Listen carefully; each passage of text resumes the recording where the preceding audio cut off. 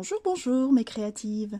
Aujourd'hui, continuons les tutos sur euh, comment recycler vos chutes de papier. Nous avions déjà vu ensemble comment réaliser cette carte euh, voilà, avec nos chutes de papier, avec cet effet circulaire. Alors c'était celle-ci, pardon, qu'on avait fait ensemble. Hors caméra, voilà, je suis venue réaliser celle-ci. Voilà, alors j'aime bien avec les petits flocons, je sais pas si vous les voyez. Voilà, dorés tout autour. Et j'ai également fait celle-ci, voilà, qui est un petit peu plus, euh, un petit peu plus linéaire. Voilà. Donc là, cette fois, on va partir sur un autre, euh, sur un autre registre, parce qu'on n'offre pas que des cartes euh, à Noël. On invite aussi des gens, où on fait une belle, une belle table, et on aime bien mettre des petites boîtes voilà, à chaque, chaque convive avec euh, un petit cadeau dedans. Donc voilà, pour pas citer de marque, on peut y mettre quelques petits chocolats, voilà, ou euh, nougat, voilà, tout, tout ce qu'on veut, de jolies petites gourmandises euh, pour Noël. Ou autre, euh, ou autre je dirais, occasion. Là, c'est Noël, mais celle-ci, je l'avais faite pour, voilà, pour une autre occasion. Donc, nous allons voir ça ensemble. Alors, nous allons prendre déjà, donc là, j'ai pas trouvé de, chute pour euh, de la taille de, ma base. Euh, puisque il faut alors attendez alors dans le sens là on va prendre 12 cm ça ça évitera de gâcher du papier. Voilà dans le sens portrait on va couper 12 cm et dans l'autre 20 cm voilà c'est si vous n'avez pas de chute euh, équivalente. Voilà, des fois, ça, il se peut quand euh, voilà, on fait, euh, on a des chutes qui, peuvent correspondre. Là, j'en ai utilisé pas mal. Voilà. Alors, tout simplement, on va venir faire des plis maintenant dans Allez, on va rester dans le sens portrait. Alors, comme d'habitude, maintenant, ma nouvelle résolution, je fais des plis, j'enlève, hop, ma lame. comme ça, je ne me trompe plus. Premier pli, je viens le faire à 4 cm. Le deuxième à 8 cm. Le troisième à 12 cm.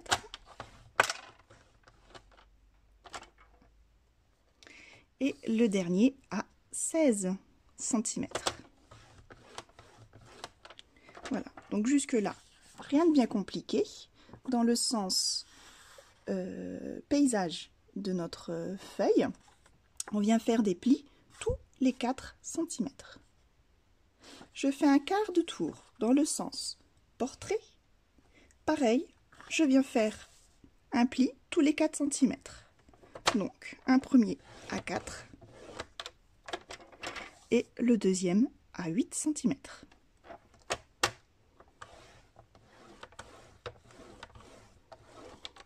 Voilà. Mes plis sont faits. je peux ranger le massicot. Maintenant, je vais venir prendre le ciseau et je vais couper. Donc, je prends bien ma feuille dans le sens paysage et je viens couper en haut et en bas tous les plis.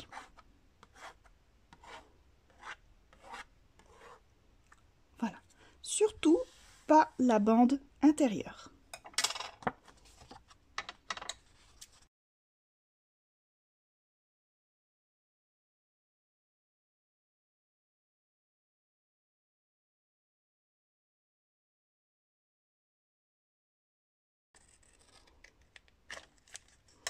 Voilà, on se retrouve avec ça. on va laisser de côté pour le moment. On va venir découper notre papier décor pour venir le coller dessus avant de faire les plis. Alors, pour le papier décor, il va nous falloir donc la thématique, une petite chute, pour pouvoir y découper 8 carrés de 3,5. Donc je vais déjà faire une petite bande de 3,5.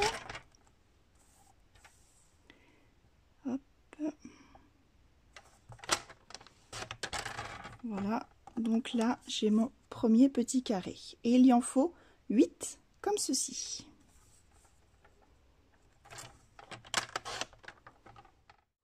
Voilà, donc à présent, mes 8 petits carrés sont ancrés.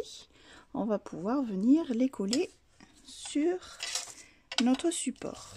Alors, donc on le prend donc dans le sens euh, paysage.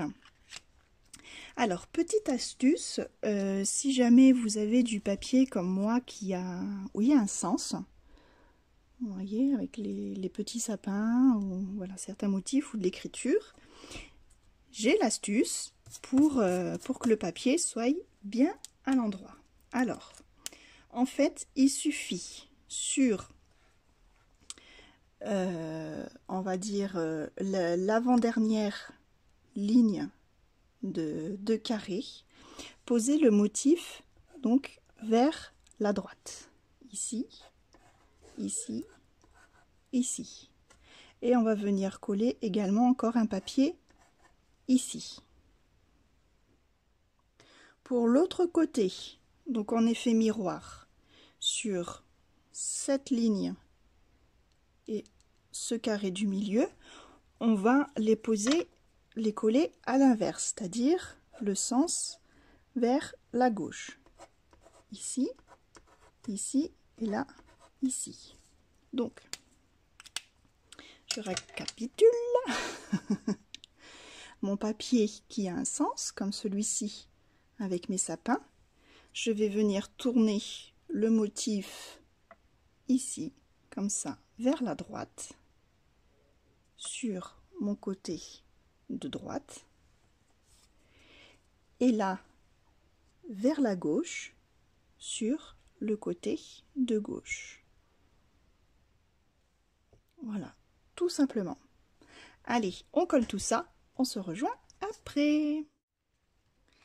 Maintenant que tout est collé, on va pouvoir marquer les plis. Donc pour ceci, je retourne ma structure et je marque déjà les hauts et les bas, on va dire. C'est toutes ces petites languettes.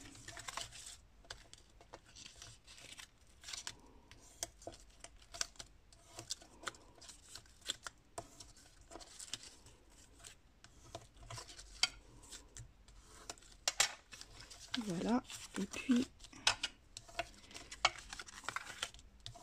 comme ça. Voilà, donc dans la confection d'une boîte, toujours important de bien bien marquer ses plis. Ensuite, si vous avez une rogneuse de coin, euh, il est bien, enfin moi je trouve ça euh, sympa, euh, de rogner en fait les coins des quatre carrés des extrémités. En fait c'est tout simplement voilà ce qui va nous faire les languettes de, de l'intérieur. Donc je trouve ça quand même plus joli. Après ça c'est une question de goût.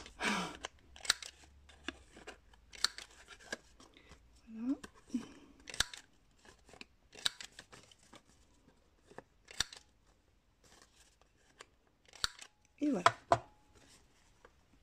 Et là, notre, notre boîte est presque terminée déjà. Voyez que c'est vraiment pas compliqué. On va venir juste faire le trou dans ces deux carrés euh, extrémités du milieu. Voilà. Donc pour ceci, on va juste euh, donc juste prendre notre perforatrice. Donc moi c'est toujours la même, hein, ma perforatrice de bureau et on vient, alors je vais quand même faire un petit repère à peu près, euh, à peu près au milieu. Donc, comme mon carré fait 4,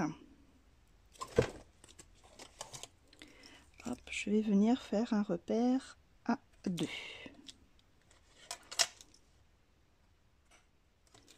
Voilà, ici et ici. Pas près du bord non plus. Voilà. Donc j'ai bien mon repère. Et hop, je fais un trou.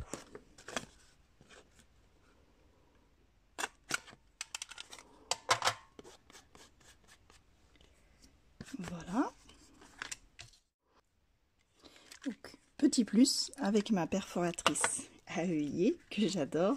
Je suis venue en porte-piécer, voilà, des petits œillets noirs, voilà, mon petit plus. Maintenant, on va retourner notre, notre structure et on va venir coller tout ça. Alors, on prend ceux du milieu, c'est avec ces languettes-ci qu'on va, euh, qu'on va coller. Alors, ce que je vous conseille, de prendre des petites pinces à linge pour maintenir votre structure. Puisqu'il va falloir, par les deux languettes du côté, en fait, euh, venir joindre de coin à coin. Je vous montre le geste. Hop. Alors, on ouvre bien et on vient poser coin à coin là, je maintiens avec la pince à linge. Vous voyez que de l'autre côté, ça donne ceci.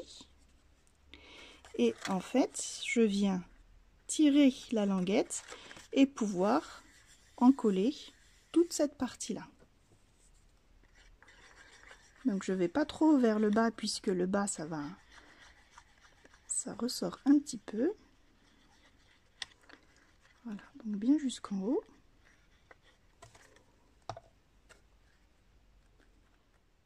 Voilà.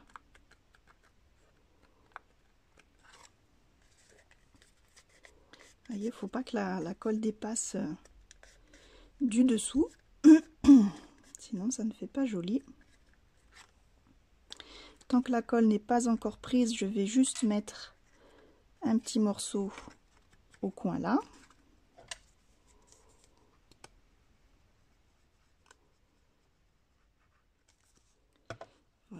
Et je remets bien ici coin à coin.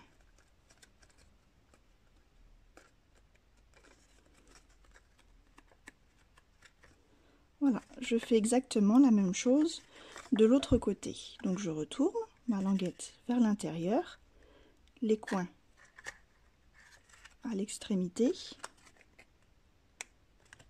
Je les rejoins. De toute façon vous voyez ça se fait tout seul. Hop, je les maintiens et je viens poser ma colle.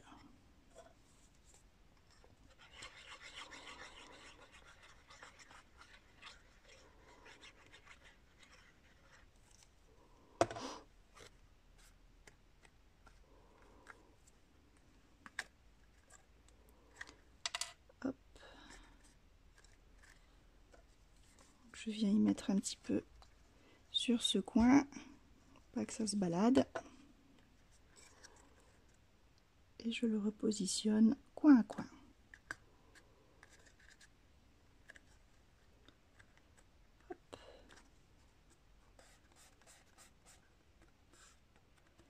Et voilà.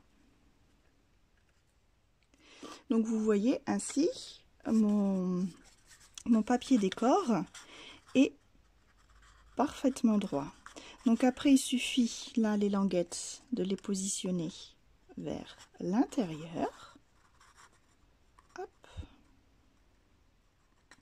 Et vous voyez que ça se ferme tout seul. Donc on peut la garnir de ce qu'on veut. on prend un petit ruban que l'on glisse de part et d'autre.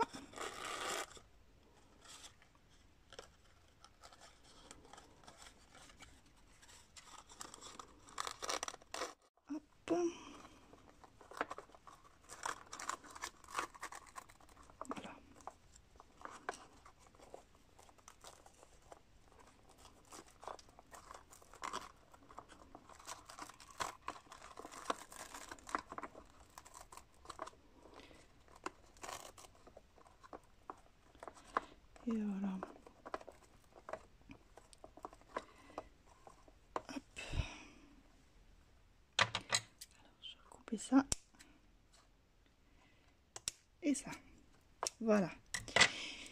Et éventuellement, je peux venir coller. Voilà, là j'avais préparé un petit nœud sur, euh, sur le côté ou quelque chose de, plus petit et comme là y mettre euh, un petit sentiment. Et voilà.